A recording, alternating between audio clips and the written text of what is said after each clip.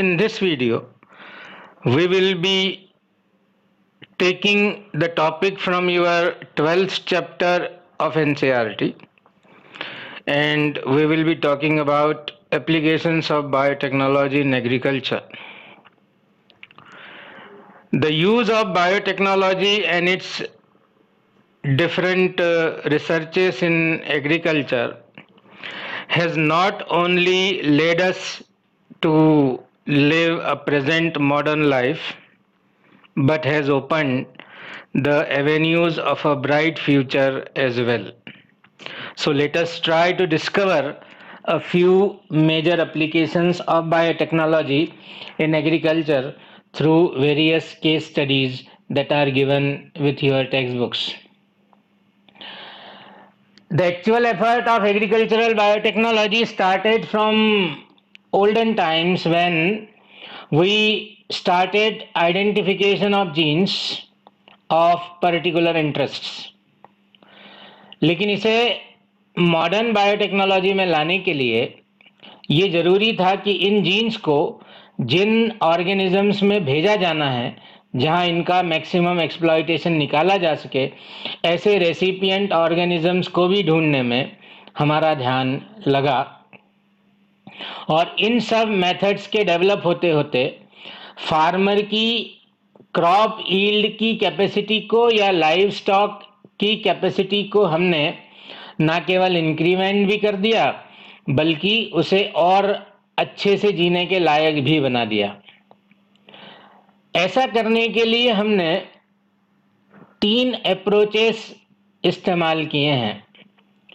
या तो हमने फार्मर्स की कैपेसिटी को बढ़ाने के लिए agro chemical based agricultural systems develop किए हैं, या ऑर्गेनिक एग्रीकल्चरल सिस्टम डेवलप करते हुए उसे हमने अपनी ईल्ड को भी बढ़ाना सिखाया है और मैनकाइंड को दूसरे हज़ार से बचाना भी सिखाया है, या तीसरे genetically engineered crop based agriculture जिनका आज की दुनिया में सबसे ज़्यादा इस्तेमाल हो रहा है, ये भी हो किया गया है। तो इन तीन अप्रोचेस से हमने एग्रीकल्चरल सिस्टम्स में बायोटेक्नोलॉजी के एप्लीकेशंस बनाए हैं।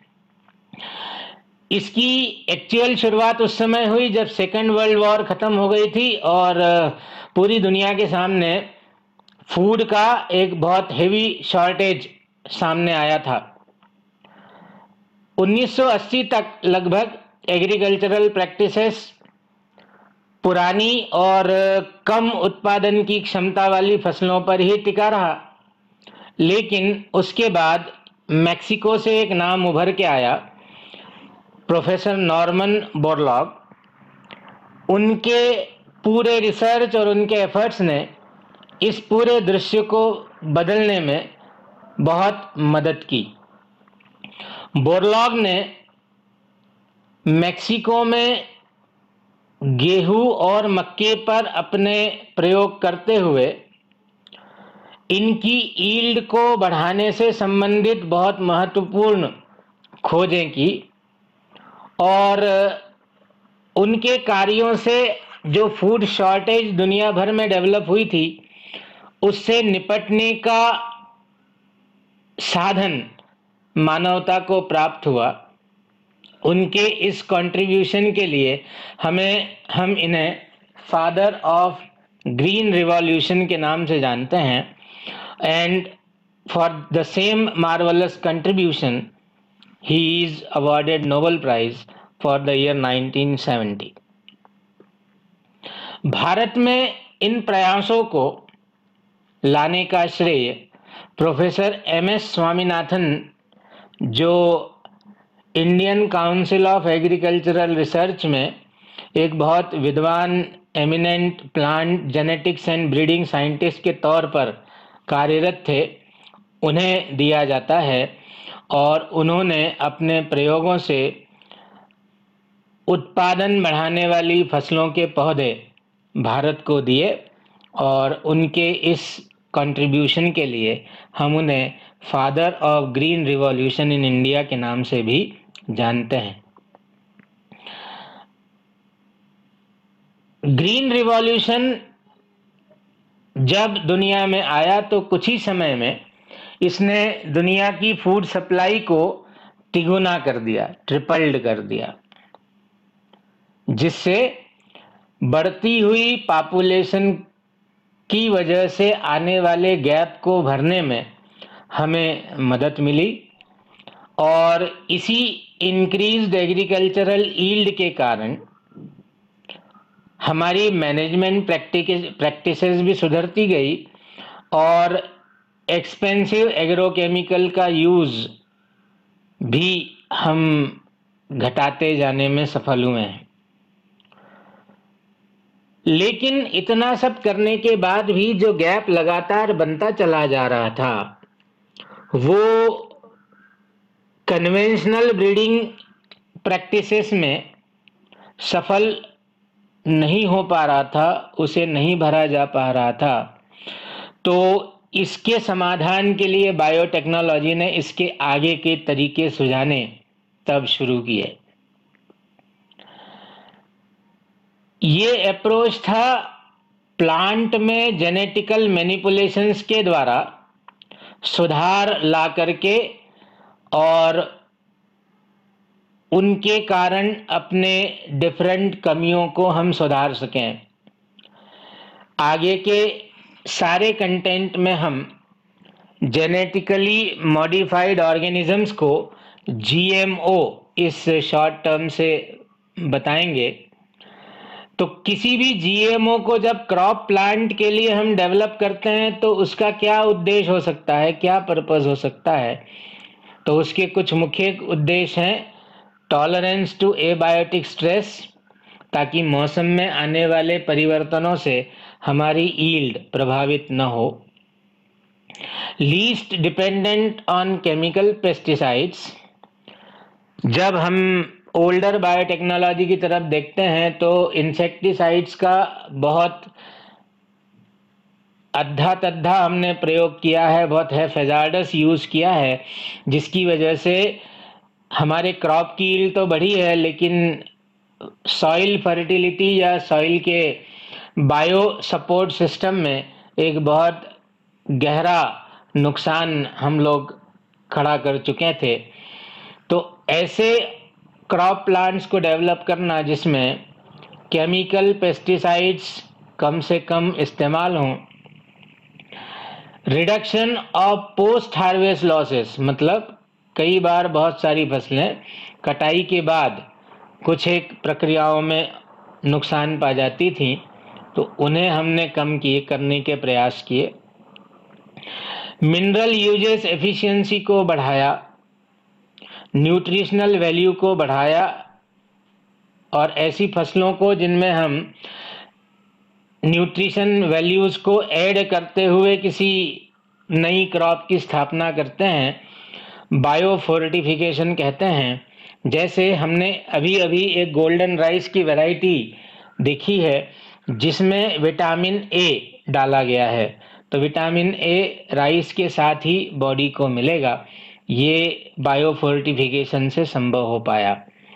या अल्टरनेटिव रिसोर्स टू इंडस्ट्रीज़ या टेलर मेड प्लांट्स को डेवलप करके हमने इन सारी गतिविधियों को आज की आवश्यकताओं के हिसाब से बदलने का प्रयास किया है।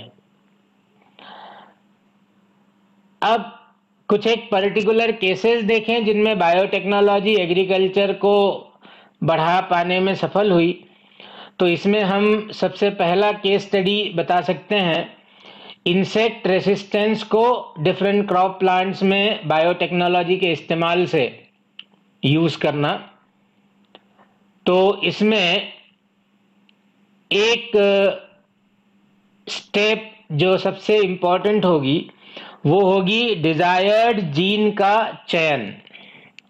Selection of desired gene and its effect तो यहाँ पर जब हमने एग्रीकल्चर में इंसेक्ट रेजिस्टेंस के लिए देखना शुरू किया तो हमें पता चला कि एक बैक्टीरिया है जिसका नाम बेसिलस थुरिंजियंसिस बीटी इसे शॉर्ट फॉर्म से जाना जाता था। इस बेसिलस बैक्टीरिया की फैमिली में एक जीन की कैडर कार्य कर रही है। इस जीन को हम क्राई जीन कहते हैं। यहाँ ये याद दिला दें कि यदि स्मॉल में किसी का उल्लेख है तो वो जीन को इंगित करता है, लेकिन यदि पहला कैपिटल यूज़ किया जाए और बाद के बाद सारे फिर रोमन लेटर्स हों तो ये उस जीन के प्रोडक्ट को सिग्निफाई करता है। तो यदि हम small C R Y gene की बात करें तो ये एक जीन है और इसका जो प्रोडक्ट होगा वो capital C small R small Y से लिखा जाएगा। तो क्राइजीन क्राई प्रोटीन को बनाता है। Cry gene bacillus thuringiensis bacteria के प्लाज्मिड पर पाया जाता है और इस जीन के द्वारा एक खास प्रोटीनस एंडोटॉक्सिन का निर्माण होता है, जिसे क्राय प्रोटीन कहते हैं। ये cry protein insects resistance protein के रूप में कार्य करता है, क्योंकि ये इंसेक्ट्स के लार्वा को उनके एलिमेंट्री कैनाल में जाके परफोरेट कर मारता है। उनके एलिमेंट्री कैनाल में बहुत सारे छेद क्रिएट करके ये उसे मारेगा। तो ये एक इंसेक्ट रेसिस्टेंस का रूप था, जो पहचाना गया बेसिलस थुरिनजेनेसिस बैक्टीरिया के द्वारा, और इस टॉक्सिक प्रोटीन को हमने बीटी टॉक्सिन का नाम दिया। ये बीटी टॉक्सिन काम का था, इसलिए ये जीन काम का था। तो इस जीन को बैक्टीरिया से क्लोन किया गया और बहुत सारे क्रॉप वैरायटी प्लांट्स में, जैसे कॉटन या कपास, कॉर्न या मक्का, राइस या चावल, पोटैटो यानी आलू और सोयाबीन, ऐसे बहुत सारे प्लांट में डाला गया और insect resistance genetically modified organisms के क्रॉप प्लांट्स क्रिएट करने में सफलता पाई। जिन प्लांट्स में ये जीन हम पहुँचाने में सफल हुए, उन्हें हमने बीटी प्रेफिक्स के साथ बताना शुरू किया, जैसे BT cotton BT corn etcetera ये जीएमओ किसी भी इंसेक्टिसाइड का उपयोग करने में किसान को मजबूर नहीं करता। इन क्रॉप प्लांट के द्वारा ही इंसेक्टिसाइड्स का रोल भी प्ले होता है। और इसीलिए इन प्लांट्स को हम बायो इंसेक्टिसाइड्स कह सकते हैं। तो क्राइजीन जो इंसेक्टिसाइड प्रोटीन है, वो अपने इनएक्टिव फॉर्म में, जिसे प्रोटॉक्सिन कहते हैं, में पाया जाता है। और ये एक्चुअली क्रिस्टलाइन स्टेट में पाया जाता है। ये उन प्लांट्स में बनता है, जिन प्लांट्स में हमने ये जीन डालने में सफलता पाई है। जब कोई एक इंसेक्ट आकर के इस प्लांट पर फ़ीड करना शुरू करता है तो ये प्रोटॉक्सिन उसकी गट में पहुँच जाता है और एल्कालाइन पीएच और डाइजेस्टिव एंजाइम की प्रेजेंस में ये प्रोटॉक्सिन सक्रिय होकर के टॉक्सिन में कन्वर्ट हो जाता है।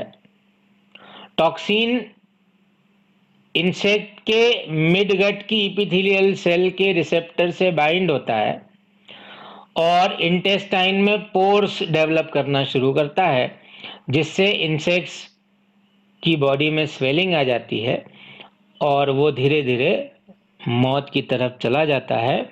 So the result of this whole experiment is subsequent death of the insect relying on a particular crop plant.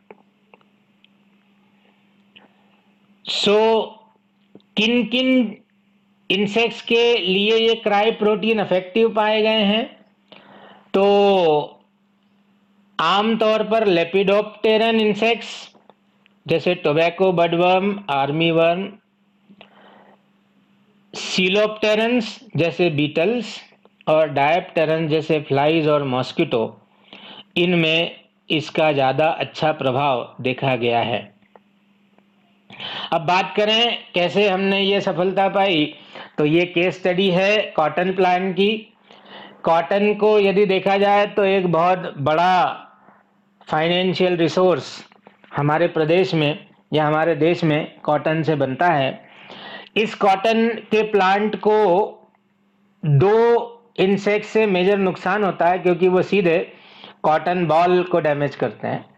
In insects के नाम है एरियाज़ वाइटेला और एरियाज़ इंसुलेंस ये कॉटन प्लांट को अपने कैटरपिलर स्टेज में मतलब लार्वल स्टेज में इन्फेक्ट करते हैं। और टेंडर शूट पार्ट पर फ़ीड करते हुए फ्लोरल बर्ड पे फ़ीड करते हुए और कॉटन बॉल यानी फ्रूट पर फ़ीड करते हुए उनको नुकसान पहुंचाते हैं। सो so, इसीलिए इसका जनरल नाम हमने बॉल वर्म रखा है। इंसेक्ट आमतौर पर कॉटन बॉल को डैमेज करता है और इसी वजह से ईल्ड को इफ़ेक्ट करता है। डिक्रीज करता है। ये लॉस आठ से साठ परसेंट तक हो सकता है। ये डिपेंड करता है कि फार्मर ने किस तरह के कंट्रोलिंग मेजर्स इन्फेक्शन के बाद लिए हैं। अब इसमें यदि इंसेक्टिसाइड डाला जाए तो ये एक तो बहुत महँगा होता है और दूसरा ये वातावरण के लिए नुकसानदायक होता है। तो इको हेजार्ड अपनी जगह और एक्सपेंसिविटी अपनी जगह। तो इसको सुधारने के लिए बायोटेक्नोलॉजी ने बीटी जीन का प्रयोग किया। और बीटी जीन को इंसर्ट किया गया कॉटन क्रॉप में। तो अब इंसेक्ट क्रॉप जब बीटी के साथ बनी तो ऐसे कॉटन प्लांट पर इन इंसेक्ट्स का इम्पैक्ट नहीं आया या आया भी तो बहुत थोड़ी देर में वो मर गए तो नए इंसेक्ट्स आ नहीं पाए और इस वजह से आज के समय में बीटी कॉटन पूरे पैरासाइटिक इंसेक्ट से अपनी ईल्ड की रक्षा स्वयं करने में सफल हो गया। लेकिन बीटी जीन को हम किसी एडिबल प्रॉपर्टी के लिए यूज़ कर सकते हैं क्या? क्योंकि जो ये जीन किसी इंसेक्ट्स के साथ कर सकता है वही किसी ह्यूमन कंज्यूमर के साथ भी तो कर पाएगा। तो इसीलिए इस इशू को GEAC genetic engineering approval committee के पास भेजा गया तो उन्होंने इडिबल लेवल पर इस प्लांट के या इस क्रॉप के यूज़ की सलाह नहीं दी, जबकि इससे कॉटन बनाए जा सकने वाले क्रॉप को लगाने की परमिशन दी। तो आप जानते हैं कि मैक्सिमम निमाड़ और मालवा जहाँ जहाँ भी कॉटन की खेती होती है, वहाँ वहाँ पर किसान बीटी कॉटन का ही ज़्यादा से ज़्यादा इस्तेमाल कर रहे हैं। अब दो तरह के जीन हैं क्राइवन सी और cry one A B cry one C cotton में इनकारपोरेट किया गया है, ये इंपॉर्टेंट क्वेश्चन है निट का ध्यान से याद रखिएगा कि क्राइवन ए सी अब कॉटन में डाला गया है और बीटी कॉटन नाम की एक नई प्लांट वैरायटी एस्टेब्लिश हुई है। जबकि gene cry one A B BT corn में डाला गया है और कॉर्न बोरर को वो रेसिस्ट करता है। Another classical example of application of biotechnology in agriculture came from a classic case study where a pest resistant crop plant was produced using biotechnology. इसके पहले कि हम इस प्रोसेस को एक्सप्लेन करें, ये आपको बताना चाहेंगे कि निमेटोडा राउंड वर्म की एक ऐसी क्लास है, जो ह्यूमन के अलावा एनिमल और प्लांट्स को भी बहुत बड़े पैमाने पे प्रभावित करती है। तो ऐसा ही एक निमेटोड है, जिसका नाम मिलेडोगाइन इनकॉग्निटा है।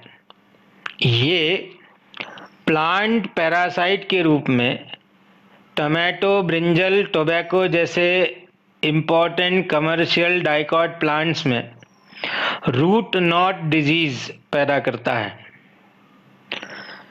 ये होस्ट की रूट को इन्फेक्ट करता है और न्यूट्रिशन को खुद लेकर के क्रॉप प्लांट को नुकसान पहुंचाता है।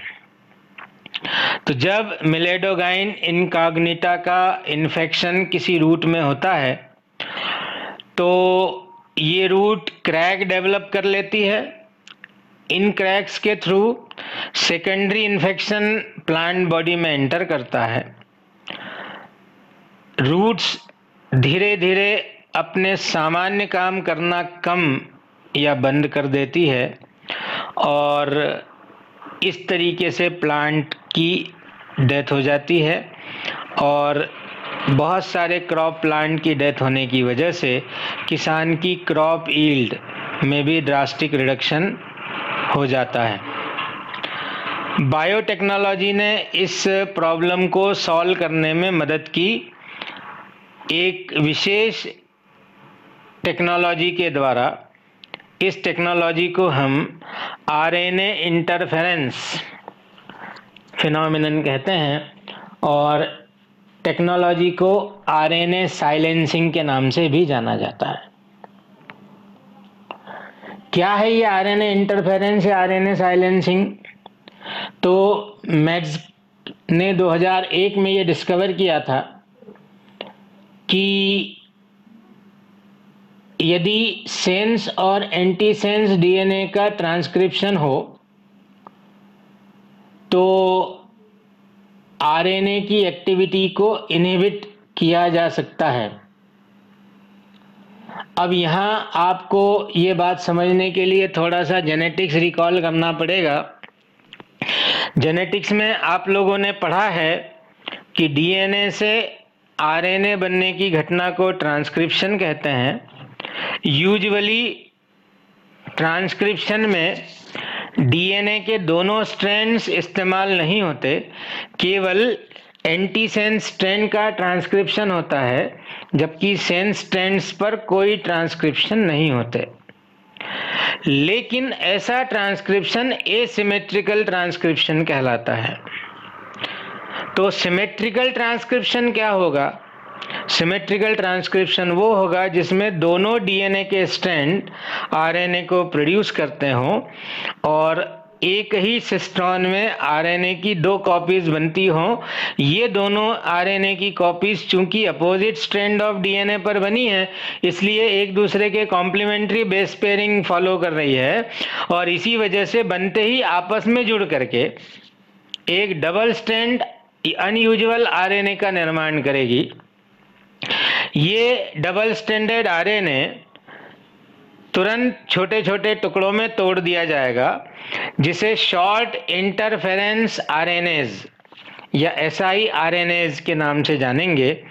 और ये एस आई आर एक साइलेंसिंग कॉम्प्लेक्स बनाने में मदद करता है, जिसे रिस्क या R N A induced silencing complex कहते हैं। तो इस तरीके से जो प्लांट है, उसे हमने आरएनए साइलेंसिंग की मदद से डेवलप किया। इस डिस्कवरी के लिए क्रेग सी मेलो और एंड्रयू फायर को ईयर 2006 का नोबल प्राइज दिया गया था। इसी तरीके से 2007 में डहिया ने RNA activation genes, RNA A की डिस्कवरी की थी, जिसकी वजह से ट्यूमर सप्रेसर जीन के कंट्रोल होने में मदद मिलती है और इसीलिए इसे कैंसर पेशेंट्स के लिए एक क्रांतिकारी इलाज, रिवॉल्यूशनरी रेमेडी के रूप में देखा जा रहा है। रिस्क जो अभी बताया आपको, वो एमआरएनए को तोड़ सकता है और एमआरएनए के एक्सप्रेशन को साइलेंट कर सकता है। इसीलिए इसे हमने आर एन साइलेंसिंग टेक्नोलॉजी के नाम से जाना है और इस घटना को आरएनए साइलेंसिंग कहते हैं।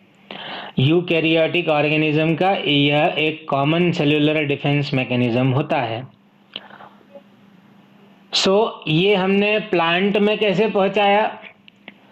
तो टी डीएनए के प्लाज्मिड को हमने एग्रोबैक्टीरियम ट्यूमीफेशियंस आप पिछला चैप्टर के हमारे वीडियोस याद करें तो उसमें टीआई प्लाज्मिड की स्ट्रक्चर के बारे में हमने बहुत विस्तार से आपसे ऑलरेडी चर्चा कर रखी है। तो एग्रोबैक्टीरियम ट्यूमीफेशियंस के टीआई प्लाज्मिड से निमेटोड स्पेसिफिक जीन्स को जोड़ा गया। और इन्हें प्लांट में इंस्टॉल किया गया रिकॉम्बिनेंट डीएनए के फॉर्म में। अब ये पॉइंट केवल वही बच्चे समझ सकते हैं जिन्हें दोनों चैप्टर के कॉन्सेप्ट्स अच्छे से पता हों। तो यदि आप इसे नहीं समझ पा रहे हैं तो हमारी सलाह है कि पहला जो चैप्टर के वीडियोस हैं, उन्हें आप देख करके फिर इस पॉइंट को समझने का प्रयास करें, ताकि आप क्वेश्चंस को ज़्यादा अच्छे से उत्तर दे पाएँ। तो ये प्लांट आरएनए साइलेंसिंग की एबिलिटी के साथ बने और इसने निमेटोड के एमआरएनए को साइलेंस करके उसे अपनी बॉडी में अपना इफ़ेक्ट पैदा करने नहीं दिया और इस प्रकार resistance to nematode crop plant में डेवलप हुआ। आरएनए साइलेंसिंग को हम एक बहुत उपयोगी टेक्निक के रूप में आगे की तरफ़ को देखते हैं और इससे हम भविष्य में विभिन्न प्रकार के cancers hepatitis high cholesterol level और एड्स जैसे ड्रास्टिक डिसऑर्डर्स से निपटने की क्षमता, पाने की क्षमता के रूप में भी देखते हैं। एक और जो केस जिसे हम क्लासिक कह सकते हैं, वो आता है एनिमल जीन को प्लांट में पहुंचाकर, एनिमल प्रोडक्ट को प्लांट से निकाल करके उपयोग करना। यहाँ हम आपको याद दिला दें कि हीरोडीन, लीच, फाइलम एनेलिडा की क्लास हीरोडिनेरिया में आने वाला एक एक्टोपैरासाइट एनिमल है। इसे सदियों से अपने सेलाइवा के मेडिकल यूज़ के लिए जाना जाता है। जब भारत में पहला ऑपरेशन हुआ था राइनोप्लास्टी का तो ब्लड को क्लॉट होने से बचाने के लिए इसी एनिमल का प्रयोग महर्षि ने किया था। तो हिरोडीन एक एंटी कोएगुलेंट सेलाइवा प्रोटीन है। जो मेडिकल यूज़ की लीच हिरुडिनेरिया मेडिनेंसिस की बॉडी में बनता है। कालांतर में इस का हमने बहुत सारे बीमारियों के इलाज के रूप में इस्तेमाल किया है, जैसे थ्रोम्बोसिस के मरीजों में। अब आप जानते हैं, थ्रोम्बोसिस कहते हैं, ब्लड वेसल में ब्लड का क्लॉट हो जाना। तो ब्लड वेसल में ब्लड के क्लॉट को डिजोल्व करने के लिए हम इसका प्रयोग करते हैं। इसी प्रकार हीमोडायलिसिस क्रॉनिक रीनल फेल्यूर के पेशेंट्स की एक बड़ी आवश्यकता के रूप में पूरी दुनिया में आज व्याप्त है।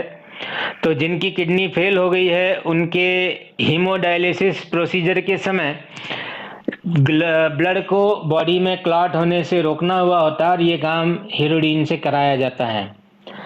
तो इस हीरोडीन के जीन को लीच के सेल्स में से निकाल के रेपसीड या ब्रासिका नापस के प्लांट में डाल दिया गया है।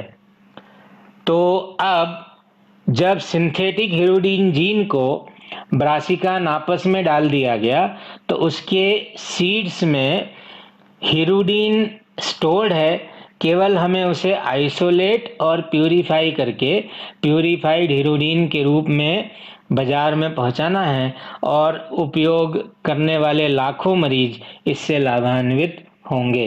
इस प्रकार a plant which has been inherent for its own gene have been given the benefit of an animal gene product and the animal gene product is now taken through the plant crop so ये भी एक important और classic example के रूप में आपको पढ़ना चाहिए।